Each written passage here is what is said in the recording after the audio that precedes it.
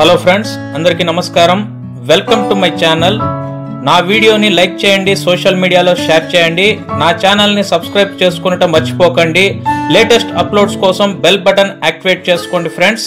Thank you for watching let's welcome to the video జ్యోతిష్య శాస్త్రం ప్రకారం గురువు రెండు వేల పద్దెనిమిది అక్టోబర్ పదకొండున తులారాశి నుంచి వృశ్చిక రాశిలోకి ప్రవేశించాడు.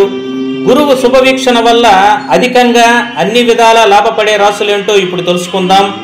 వృషభ రాశి కర్కాటక రాశి తులారాశి మకర రాశి మీనరాశి వారికి గురుగ్రహ సంచారం వలన గోచార రీత్యా ఈ రాశులపై పూర్తి అనుకూలతలను కలిగి ఉంటాడు. ఈ రాశుల వారు చేపట్టే వృత్తి ఉద్యోగ వ్యాపారాలలో విశేషమైనటువంటి లాభాలను గడిస్తారు. నిరుద్యోగులకు ఉద్యోగ యోగం ఉద్యోగస్తులకు ప్రమోషన్స్ లభిస్తాయి.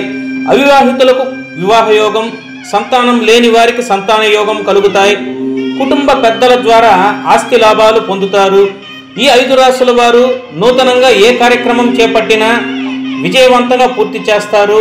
ముఖ్యంగా తులా రాశి మకర రాశి వారికి గురువు చాలా యోగించడం వలన వీరికి విపరీత రాజయోగం కలిగే అవకాశాలు పుష్కలంగా ఉన్నాయి.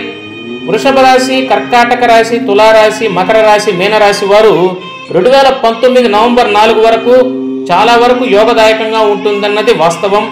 ఈ రాశుల వారు పట్టిందల్లా బంగారమా అనునట్లుండును.